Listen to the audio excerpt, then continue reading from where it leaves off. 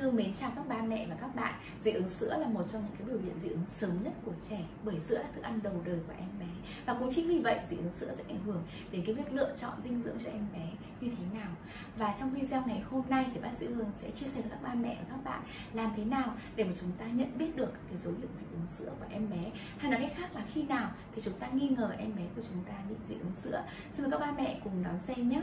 À vâng thưa các bạn, à, dị ứng sữa là cái biểu hiện của cơ thể em bé phản ứng với cái protein có trong đạm sữa bò. Mà có hai nhóm protein chính đó là đạm whey và đạm casein. À, với các cái biểu hiện của dị ứng là với các cái triệu chứng phản ứng dị ứng nhanh và phản ứng dị ứng chậm.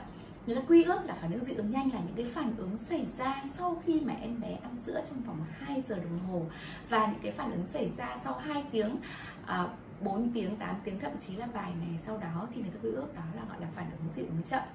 Và với các phản ứng dị ứng sữa của em bé sẽ có từ mức độ nhẹ cho đến mức độ nặng à, với các cái biểu hiện của bốn nhóm cơ quan chính một đó là biểu hiện ngoài da. Biểu ngoài da là cái biểu hiện mà các ba mẹ dễ phát hiện nhất.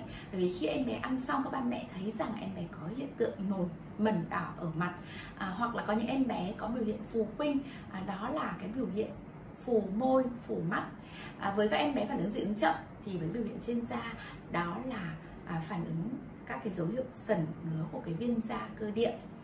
À, cơ quan thứ hai mà các ba mẹ cũng có thể à, dễ nhận biết được đó là cơ quan tiêu hóa. À, cơ quan tiêu hóa khi mà em bé ăn xong à, có những em bé vừa ăn xong thì em bé nôn ra hoặc là em bé đau bụng em bé quấy khóc hoặc là em bé bị tiêu chảy à, rất là nhiều hoặc là ít tùy theo từng mức độ phản ứng của em bé. Và nặng hơn nữa thì có những em bé có thể là bị đi ngoài phân máu. À, ngoại bên đối lập cái hiện tượng tiêu chảy thì cái hiện tượng em bé bị táo bón cũng là một trong những cái dấu hiệu biểu hiện dị ứng sữa à, với cái biểu hiện của cơ quan tiêu hóa thì cũng có cái phản ứng nhanh hoặc là cũng có cái phản ứng chậm. À, và cái phản ứng nặng nhất của cơ quan tiêu hóa đó là hiện tượng viêm ruột sốc mất nước và trụy mạch có thể ảnh hưởng đến tính mạng của em bé.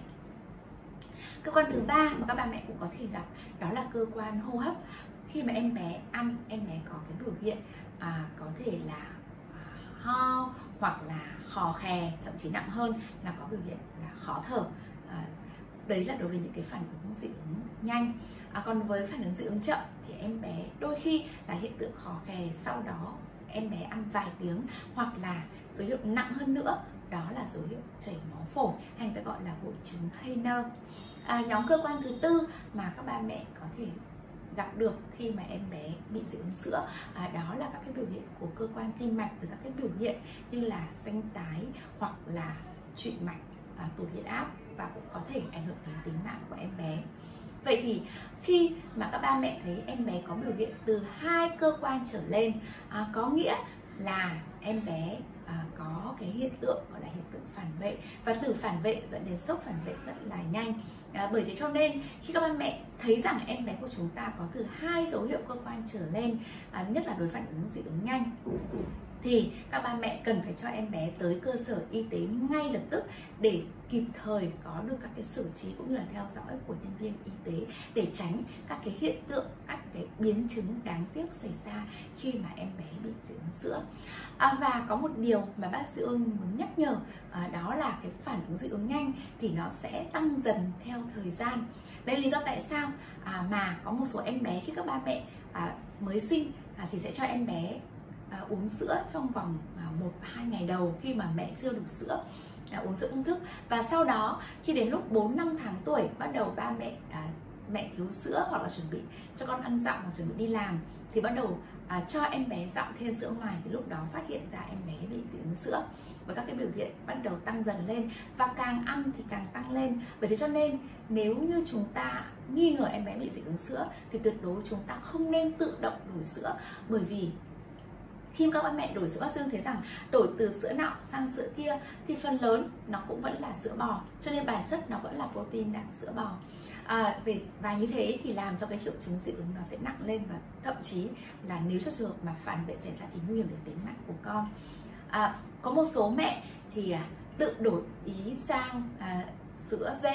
Thì thấy thấy rằng là sữa dê thì có 80 đến 90 phần trăm protein có cấu trúc tương tự như sữa bò.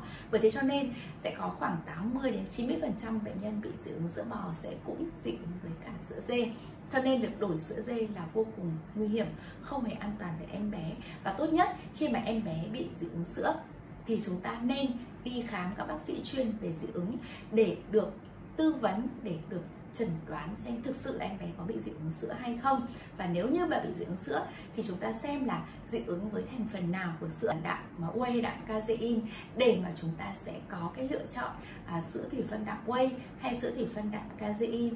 Hay với những trường hợp mà phản ứng dị ứng nặng thì thậm chí là chúng ta phải sử dụng cả sữa thủy phân ở dạng axit amin. Và cái việc lựa chọn sữa như thế nào và cũng như là các cái thành phần sữa thủy phân như thế nào thì mời các ba mẹ đón xem ở các video tiếp theo.